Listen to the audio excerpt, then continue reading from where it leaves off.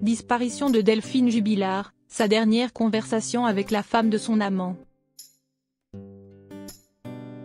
Quelques mois avant de disparaître, Delphine Jubilard avait rencontré un autre homme via l'application Glidin.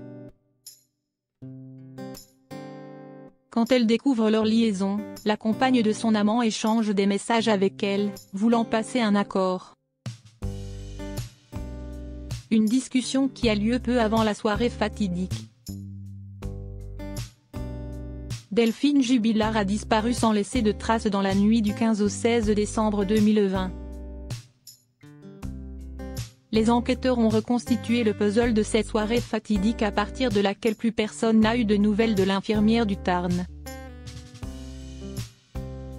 Maman de deux jeunes enfants et en procédure de divorce. Son mari et elle devaient en effet mettre un terme à leur mariage. À bout de souffle et à une relation que les proches de la jeune femme décrivent tous depuis comme peu épanouissante. Elle avait rencontré l'été précédent sa disparition un autre homme, et espérait que leur relation secrète pouvait être vécue au grand jour. La compagne de son amant avait découvert leur idylle et avait discuté par SMS avec la trentenaire, quelques heures avant de disparaître. La dépêche avait rapporté l'échange entre Delphine Jubilard et celle qui partageait la vie de son amant et avec qui il a un enfant. Le 14 décembre 2020, soit la veille de la brutale disparition de l'infirmière de nuit. La compagne de celui qui est surnommé le confident de Montauban découvre un message qu'il écrivait à son amoureuse secrète.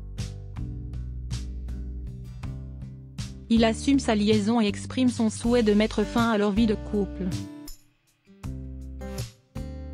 Le lendemain, la compagne trompée joint l'épouse de Cédric Jubilard de façon brève mais sans agressivité. Tu prendras ma place quand elle sera libre, pour le moment, ce n'est pas le cas. Souhaitant des relations apaisées avec elle, la mère de Louis et Elia tente de la rassurer en lui signifiant qu'elle gardera toujours une place entre eux. Les deux femmes s'accordent sur un pacte auquel tient la compagne de l'amant, ne plus le contacter durant la période des fêtes de fin d'année. Delphine Jubilard accepte même si elle continuera en toute discrétion de joindre son amoureux espérant fêter leur future retrouvaille avec du vin et l'espoir de s'installer ensemble. Le 15 décembre, elle envoie deux messages à son bien-aimé et une photo d'elle en nuisette. Est-ce cette image sur laquelle tombe Cédric et qui a provoqué sa fureur, d'après son ancien co-détenu? Le mari de Delphine est actuellement incarcéré à Toulouse cesse depuis le mois de juin 2021 et ne cesse de clamer son innocence.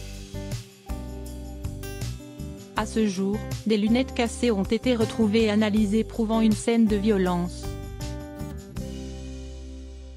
Le fils aîné du couple assure avoir entendu ses parents se disputer et l'expertise psychiatrique de